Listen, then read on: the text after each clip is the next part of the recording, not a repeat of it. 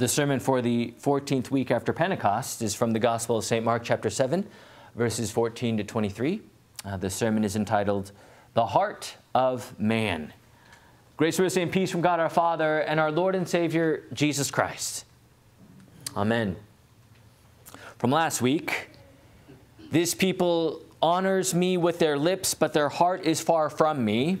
You leave the command of God and hold to the tradition of men. Continuing on with our gospel in Mark chapter 7, this theme of tradition of men always reminds us,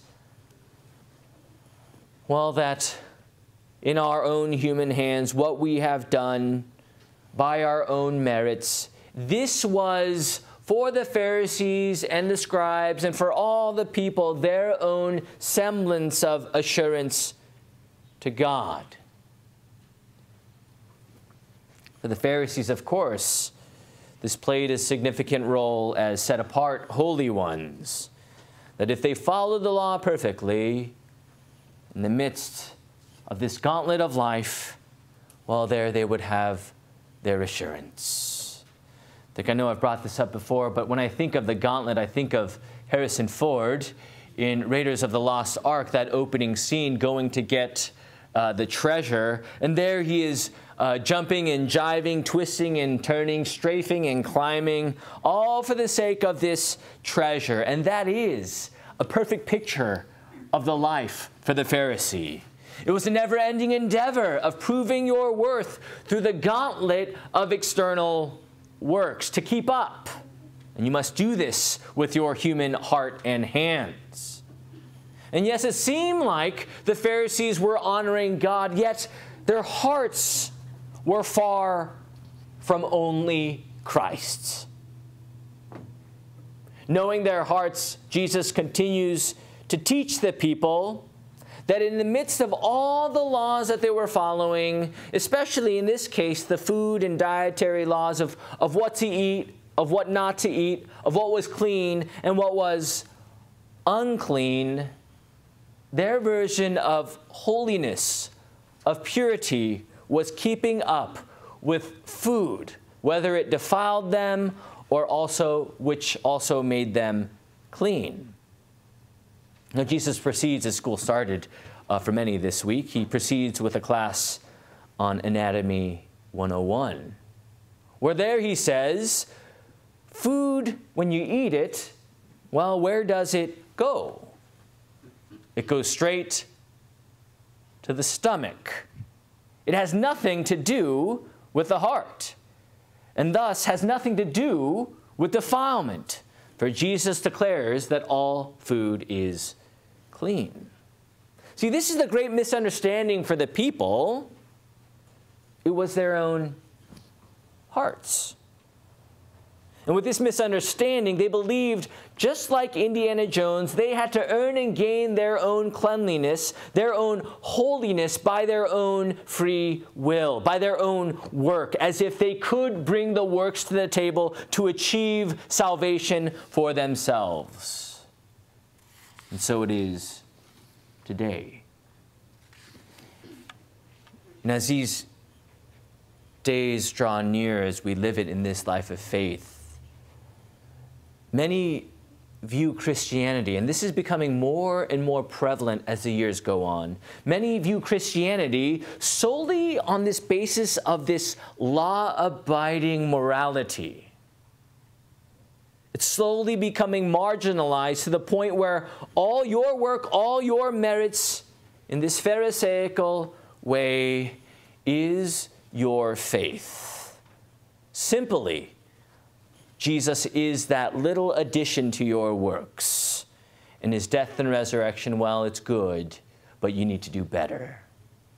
And because of it, we have this, as I coin it, I don't know if I coined it or if someone else coined it, but this good heart theology. How this good heart theology has become a mainstay in our spiritual landscape of the world. And you hear it, how this good heart theology comes out. From the secular wor world, we hear the words, I am a good person, and if there is a God, if there is a God, I'm pretty sure he would be pleased with all that I've done in my life. And even closer, in this umbrella of Christianity, yes, I grew up in the church. I no longer attend. But you know, I have a good and pure heart. And I'm sure that means something to God. And even closer to home for you and me, when it comes to the question, what does it mean to be Christian? How, how quick we bring up that spreadsheet, that Excel spreadsheet in our mind, telling us, well, how many times have I been to church? How many good works have I done? How many commandments have I followed? How much proof and evidence have I brought to the table? Again, all these give me a good heart. Is that true? What do these words indicate? The good heart of theology is all about me, myself, and I. We learn today in our scripture that it's about sustaining ourselves, isn't it? That we keep our seats warm in heaven by our own merits. That we convince ourselves that because of this good and pure heart that I have, Somehow, from that good heart, I have a peaceable conscience. That with this good heart, this pure heart, I can actually climb and ascend to God and elevate to Him as if I can prove my own self in front of Him. And there, with this good heart, I say, God, look how much I've done. Look how good I am. Look how pure I am in front of you. Is this possible? See, friends, when we fail to see what is truly before us, when we fail to understand our true condition,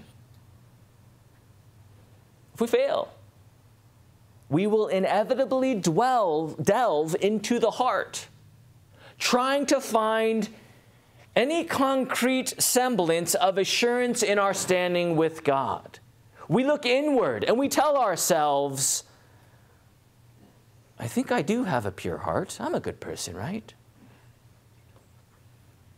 Now, today, Jesus, in our gospel reading, crushes any validity to what this good heart theology brings to the table.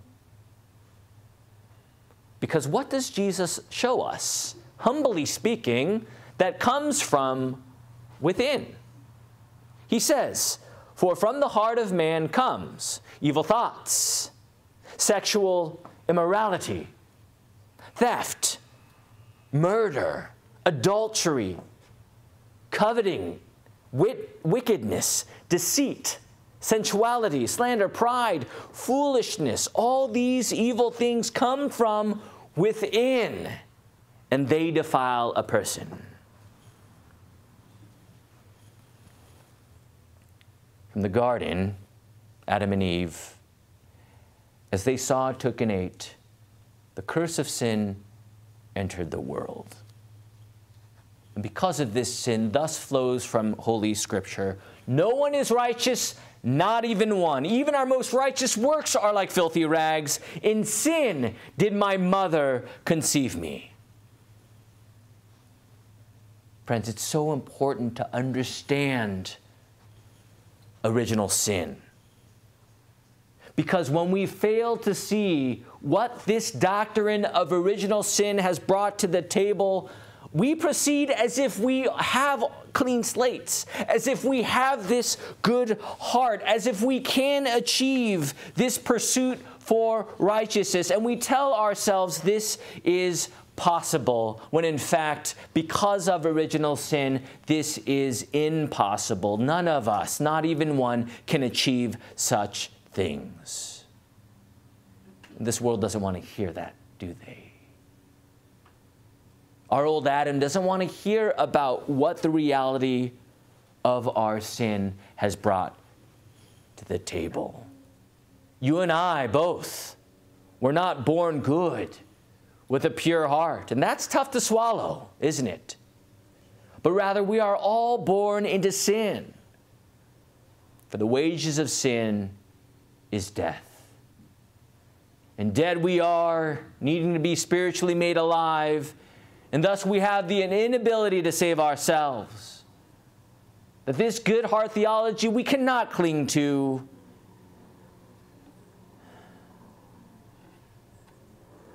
And though the devil says you can be like God and you can achieve all things, at the end of the day, the devil is a fraud. Every single time the devil points you away from Christ. Whether it is to your works or even to your guilt, as the devil accuses each and every one of us every which way, the evil foe, his strategy is to turn you from only Christ. The helmet of your salvation, the sword of truth. The devil turns you away from the breastplate of righteousness, the shoes of the gospel, only Christ that the devil turns you away from the cross and empty tomb and the word and the sacraments, the full armor of God. You can do this yourself, the devil says. You don't need God's armor. This is the battle that we face, isn't it? Not flesh and blood, not what is on the surface, but rather the spiritual battle, the cosmic forces of evil where there the devil is throwing every temptation at you, turning you from only Christ. You know, our text shows us and gets rid of if you have a smug heart today, if you have a self righteous heart today, if you have a works righteousness heart today, if you have this good heart theology today, Jesus crushes all of that. On the other hand, if you are despaired, if you have this despaired heart, and you tell yourself, not even the blood of Christ can forgive me of my sin, there the Lord is with you. See, at the end of the day, the word brings us to nothing. And surely from the law comes the knowledge of our sin. And Jesus lays it out perfectly. He is that great physician. I was telling Marjorie this morning as uh, she was coming into church, I'm like, yeah, I, got, I should definitely find a doctor. It's been too long. it's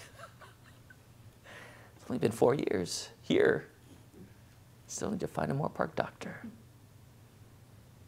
The point is, is that the great physician, Jesus Christ, gives us a true diagnosis. He shows us our true sickness. He shows us our true sin. That from within, there we have it, ever since we were born into this world separated from God. And at that very moment, just like any good doctor would, our Lord, the great physician, doesn't say, do this and do this and do this and earn your way and give yourself a pure heart. No, rather, in your diagnosis of sin, He outpours to you the most merciful and gracious remedy. Our Lord gives you and hands you His Son.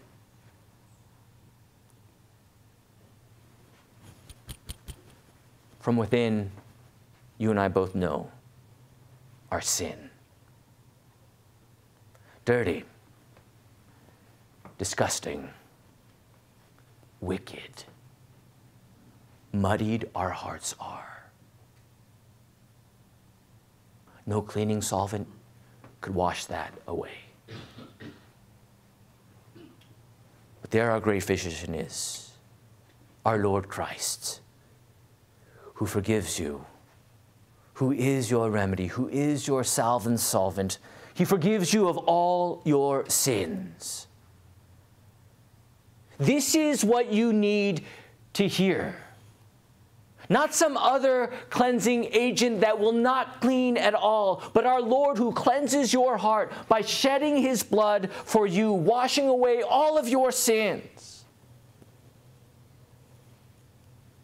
By being your remedy, laying his life down as the great physician, giving you the full armor of God, protecting you from sin, death, and the power of the devil as your almighty and gracious refuge. that by his good work, from the snake to the cross to the crown, our Lord achieved for you your righteousness. His sacrifice. Forgiven you are. The pursuit of salvation, your name is written in His book, the book of life. And there you cling in this life of faith.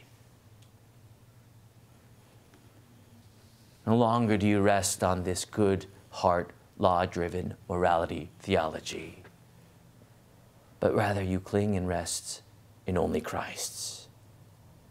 Trust me, we very well know this is the answer, yet the devil, he never stops. And time and time again, the evil foe will scratch and claw and even roar that God's grace is not sufficient, that you must do more. The devil, a skilled archer he is, flinging every arrow your way. This is the battle that is before each and every one of us. Do you see it? And though daunting it may seem, at the same time, our faith sees Jesus, the one who has crushed and defeated the evil foe. His work, the evil foe, has been destroyed. As the armor of God, only Christ has overcome all things, has conquered, and has given you victory over sin, death, and the power of the devil. And there, Jesus, by his death and resurrection in the word and sacraments, there he has given you a good heart, and you have a good heart you have a good heart. But, Pastor, my heart is wrapped in sin from within, just as Jesus says. I know that all too well. But today, Jesus says, by his very promise, I have given you and declare your heart good.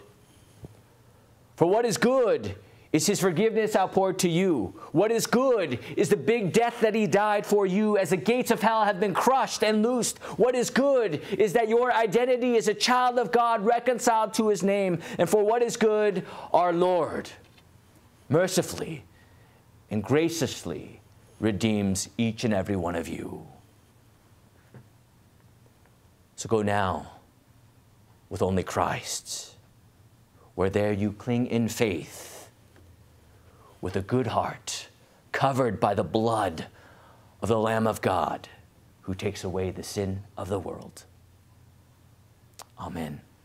May the peace of Christ, which surpasses all understanding, guard your hearts and minds in Christ Jesus. Amen. Amen. Please rise as you are able.